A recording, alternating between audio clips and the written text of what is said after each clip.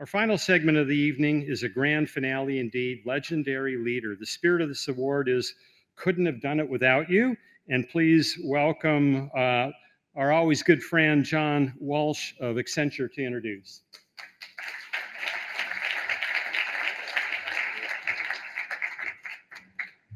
Thank you, Rich, um, and thank all of you for uh, for coming tonight. Before I start, I'd like to ask all of you to join me in thanking Karen Tucker and the Churchill Club for putting on such fantastic events as this one. Accenture is proud to be involved as we deeply resonate with the themes of these awards, as well as the broader Churchill Club Charter, which you mentioned in your opening tonight, what's new, what's next, and what's uh, what's not widely known. I almost forgot it. Tonight, it is my privilege uh, to present the Legendary Leader Award. The Legendary Leader Award is about inspirational leadership and contributions to others' innovation and success. When the Churchill Club asked its Academy to nom nominate honorees for this award, they asked them to identify people who not only envisioned a brand new future, but we're able to also frame the industry and societal needs and create solutions in a way that is uniquely their own. Equally important is the ability to recognize and develop talent and catalyze great teams. We ask for the legendary leader who has had enormous impact on the industry he or she served and through the contributions of the people they helped along the way. This year's legendary leader is someone who has been an institution in the Valley and the broader tech industry for over 40 years. In his current role as chairman of Microsoft, he helped the company through a critically important CEO transition, as well as a major shift of Microsoft's business to the cloud. He is currently a venture partner at Lightspeed Ventures, a firm that invested in virtual instruments or VI, where he served as CEO. Before VI, this legendary leader had an incredible 10 year run as the CEO of Symantec, where he oversaw 10x revenue growth from 600 million to 6 billion and led the company through a diverse set of strategic shifts and transactions. Prior to Symantec, he spent 28 years at IBM, where he held multiple leadership roles in sales, marketing, and software development. From the beginning of his career to today, this individual has made incredible contributions on the forefront of technology to drive innovation forward. Perhaps most important is his mentorship of the countless others and his trademark transparent way of always pursuing the greater good. This is true leadership and someone whom I greatly admire. I always remember, and I told John this earlier, a chance interaction that I had with John about 10 years ago. Um, I had moved to the Valley like in late 2008, so this was early 2000, uh, 2009, and it was the first time my mom had come out to visit. First time she'd ever been to, to California. And we were at that little car wash on El Camino in Palo Alto. We were sitting there getting our car washed, and I'm with my mom, and I, I had just started doing a little bit of work with uh, your successor at Symantec, Enrique. And uh, I saw John sitting there, and I said, I, I, think that's John Thompson to my mom. So I went over and introduced myself, introduced my mom, and we, you know, we had a quick chat. It was, it was nothing spectacular, nothing special. It was, it was really friendly. We talked about an upcoming bike, bike trip that you had. And I always remember, and it made an impression on me, you know, the, the grace and generosity that you showed during that short, very short conversation. And, uh, you know, since then, my mom has been sending me little clips as, as she's followed John's career. Uh, so John, did you see John's been promoted to uh, to be the chairman of Microsoft? Oh, did you see he selected Satya Nadella to be the new CEO? So on the way over here tonight, I called my mom and I said, "Guess who I'm presenting the Legendary Leader Award to in Silicon Valley?" And she goes, "Well, that must be John Thompson." it's the only tech executive she knows, and and so it is uh, with great pride um, that I am very honored to uh, present the Legendary Leader Award tonight to John Thompson on behalf of the Churchill Club and Accenture and my mom. Joining him on stage for conversation will be Steve Luczo, former uh, CEO of Seagate, and uh, I'd ask you to come up to the stage.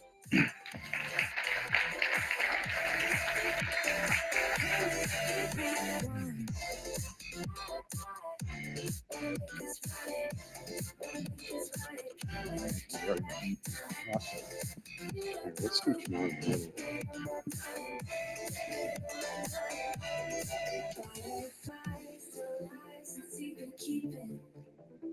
The 20 pictures, yes, something.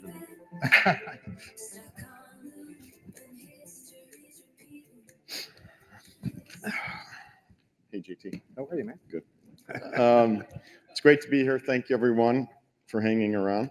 Thank you. And uh, thanks to the Churchill Club for recognizing my good friend John. And John, thanks for asking me to come and speak with you for a few minutes. I am a little upset that on that bio, though, nowhere is it mentioned that John was also on the Seagate board and the one who talked me into coming back and running Seagate, but that's another story.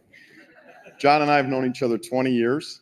Um, we've been good friends. We've served on boards together. And uh, to test his true leadership skills, he's also the godfather of our youngest, who 10 years from now is going to test all of his uh, competencies to the That's for greatest sure. degree.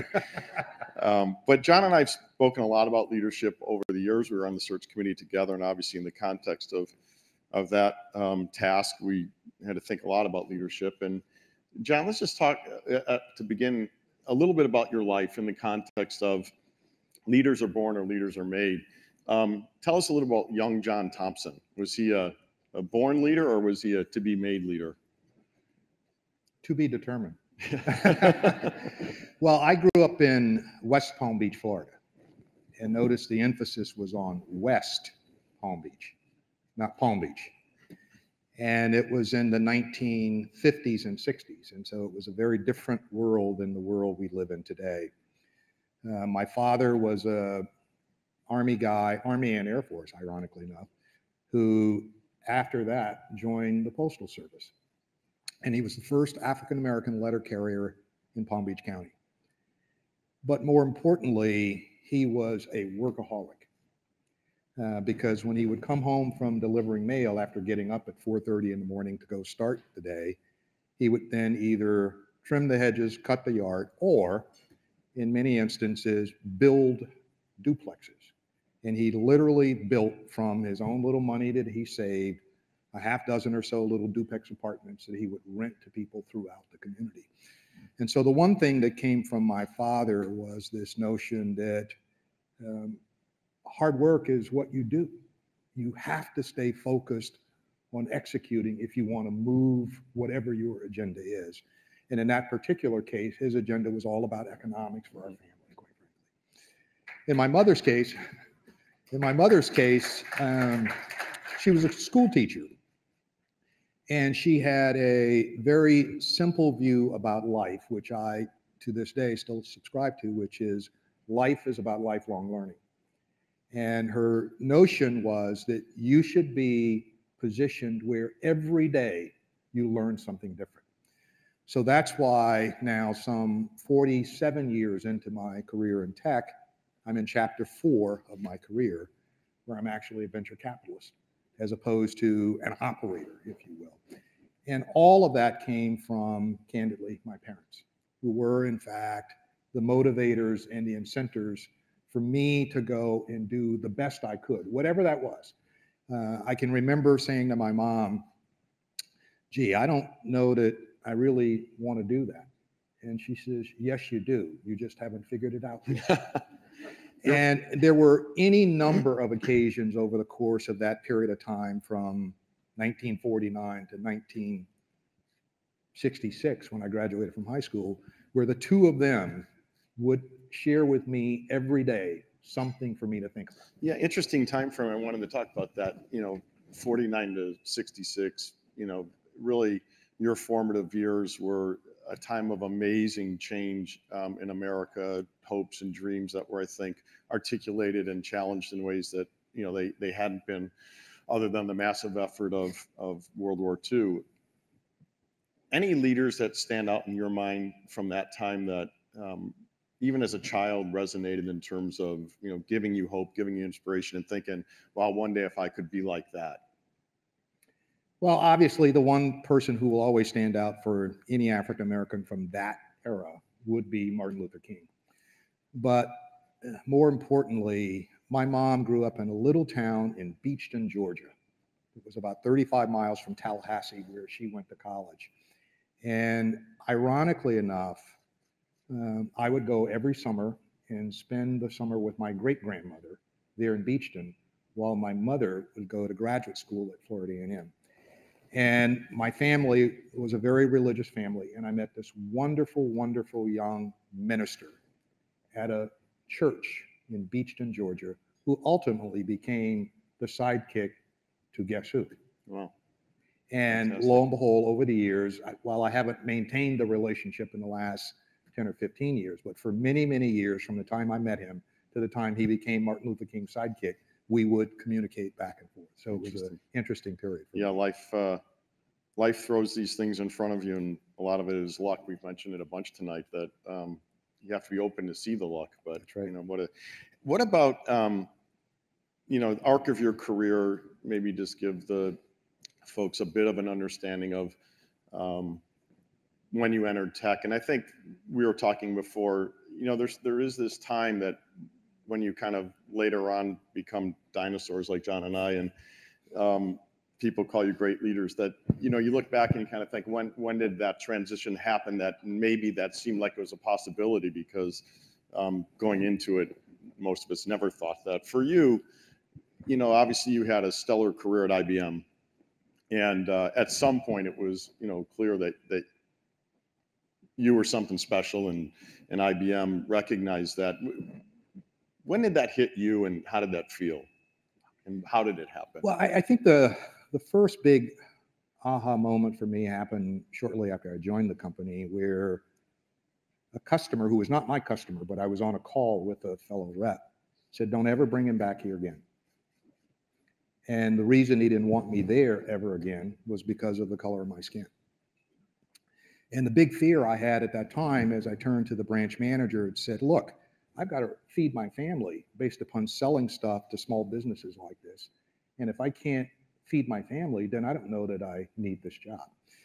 Well, I literally got accelerated in my career within days, where I went from the typical you sell new accounts to mid-size accounts to large accounts. I went immediately to selling to large accounts. And in a very short period of time, I went from selling to large accounts to a regional staff job, which I just didn't envision. But the real moment for me was the realization that I don't fit in here. I had been there for about five or six years, and I didn't look like any other IBM in the office. And it had nothing to do with the color of my skin.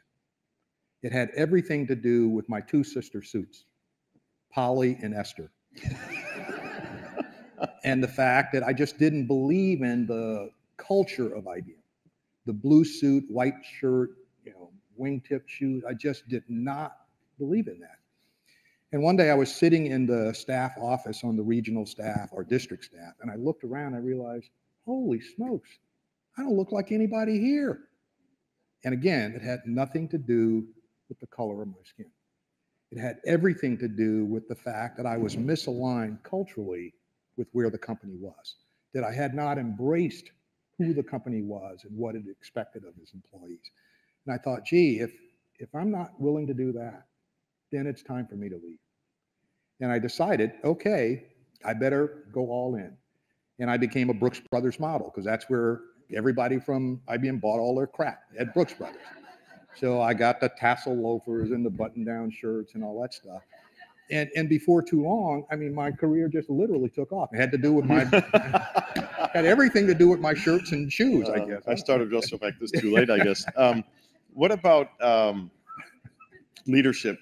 Um, different people have different words. Uh, Tell me how you think of leadership if you had to summarize it in, you know, a word, a sentence. Um, what would it be? Well, I mean, everybody thinks of a leader as someone who has this incredible vision and view of the world and the company and what have you. And I think that's foundational for every leader. You've got to have a point of view about what you want your organization or your company to do or be. But I think the real attributes of leaders are about who they are as individuals. What's their integrity?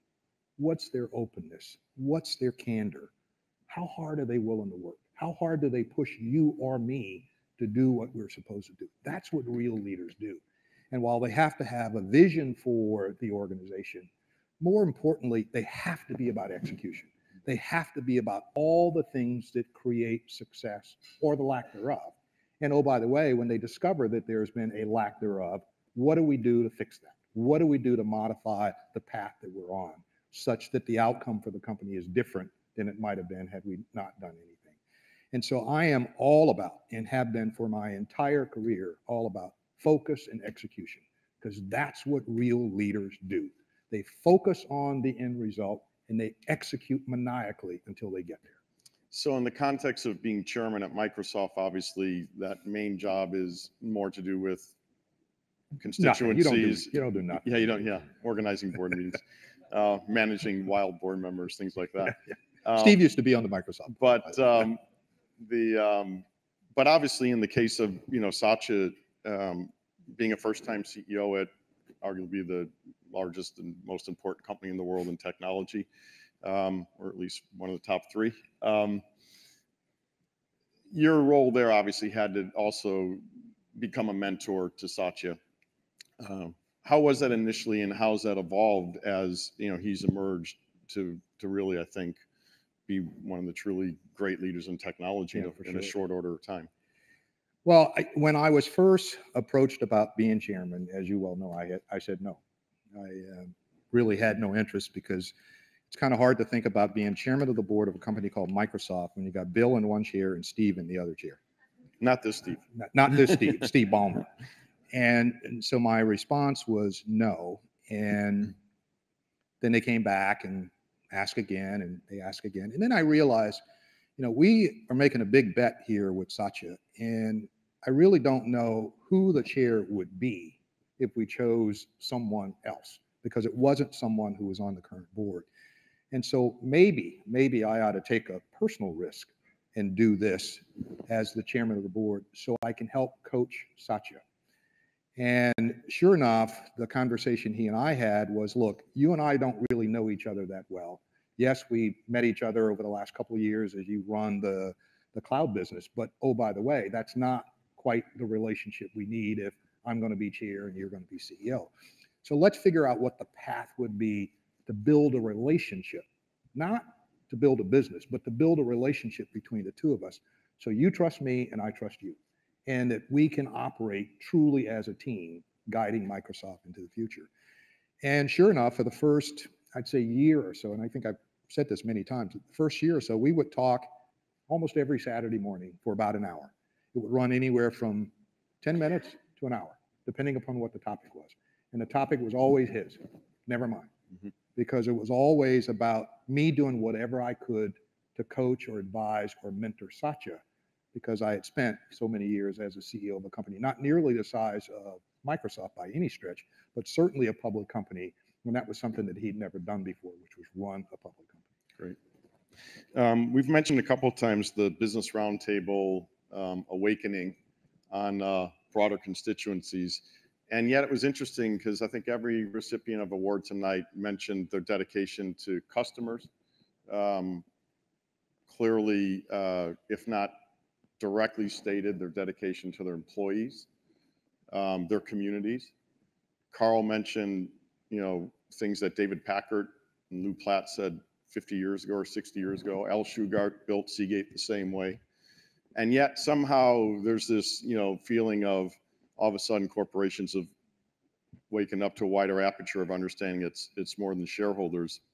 And in the same time, we've had a fairly significant backlash against technology.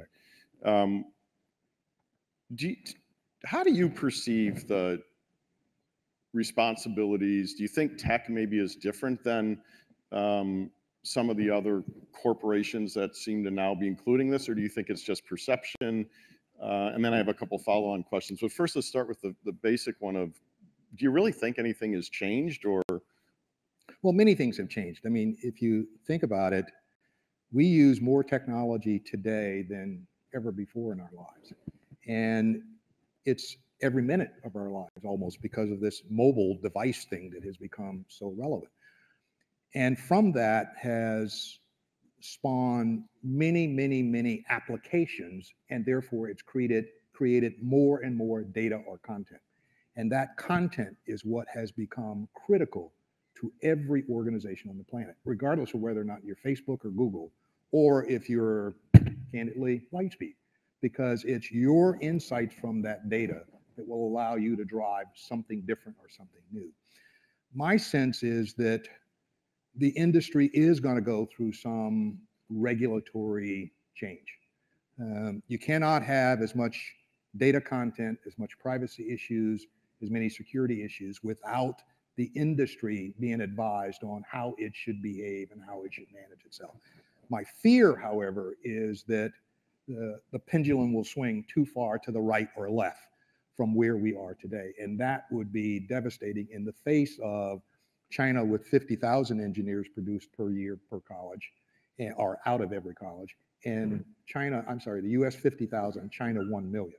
So if you believe that that ratio is going to maintain for many, many years to come, boy, we're in tough shape if we do too far in terms of leaning right or left on regulatory oversight, because that's not what China's going to do, that's for sure. Yeah, and you know, I think it's it's interesting when you look at the leadership position that Microsoft has taken um, on on really four significant vectors, right? I mean, there's Satya, who clearly has been vocal about this. Um, Brad Smith, who I think is coming here next week, has been, you know, I think Very one of the real thought leaders on on uh, personal privacy. Uh, Bill, of course, in in the Bill's blogs, he talks about machine learning and and the responsibilities of privacy, and obviously you as as chairman. Is it a coordinated thing, or is it is it just that you know you you have the similar mindset based on your fundamental integrity um, that that this message is kind of so consistent and and really I think strikingly different um, from Microsoft in a in a really positive way. Well, I, I think what is very true about Microsoft is it is an enterprise software company. It's not a consumer software company. And while we have a wonderful search business that generates great profit for the company, and we have an interesting gaming business that generates great revenue and great profit for the company, in the scheme of things, they are probably 10, 20% of the company's revenue. And therefore, the balance of it comes from large enterprises success with large enterprise customers from the many years I've been in this business is all about one, a relationship, and two, a sense of trust and integrity. Mhm. And if you don't do things with your products that they trust or that they feel they can trust, that is not in your best interest. And I think Microsoft got lucky, quite frankly, because they did not have the degree of success that they wanted in the consumer space. And had they been in the consumer space, they might be making some of the same silly mistakes that some of the current incumbents are making today. And that would be catastrophic for the company.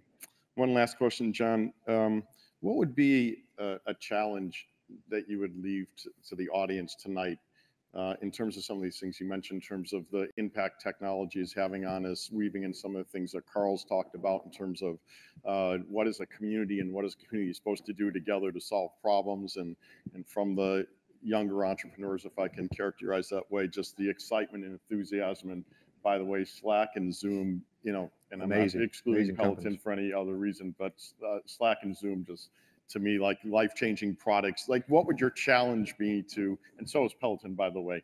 Um, my wife though wants to get rid of my bike because she wants the running machine thing. So it's like it's a it's a battle at home, which obviously she'll win.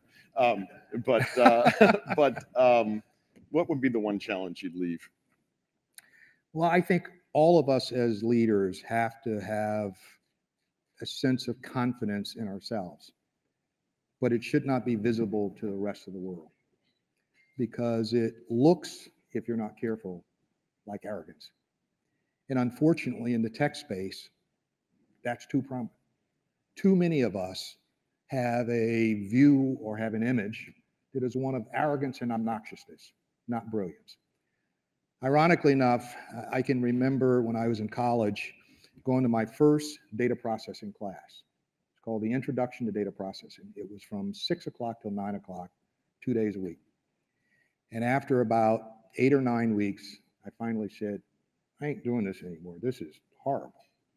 So I dropped out. And I vowed I'd never do tech again. Never, ever. And when the opportunity came along to join IBM, fraternity brother of mine ran outplacement services and came to me and he says, "You need to go and interview with IBM. They're looking for salespeople. and You should go." I went, "Look at me. I got an 800 pound afro. I got striped pants and two tone shoes. I mean, Polyester suit, apparently. Uh, polyester shirts. I mean, how could I ever do that? Had I not listened to him, life would be very different for my family today, for sure. And the whole idea is even when you don't like something, maybe, maybe you just have to kind of hold your nose, suck it up, and go learn what you can learn. Because if you believe as I do in what my mom said, which is life is about lifelong learning, then learning about data processing at that point in my Mm. life was critical to the rest of my Yeah. life. What I didn't understand, quite frankly, was it was going to be as impactful over time as it has become. Great. No question. about it. Yeah, the uh, humility is interesting. Is uh, I remember Shugart was good friends with Charles Schulz and uh, and you know who was obviously the creator of Snoopy uh, Peanuts, uh, but he's also a great satirist. And one of his great cartoons that Al had framed in his office was of Snoopy sitting up on his doghouse and said, "It's hard to be humble when you're great." Um, anyway, so John, thank you. Thank you very much.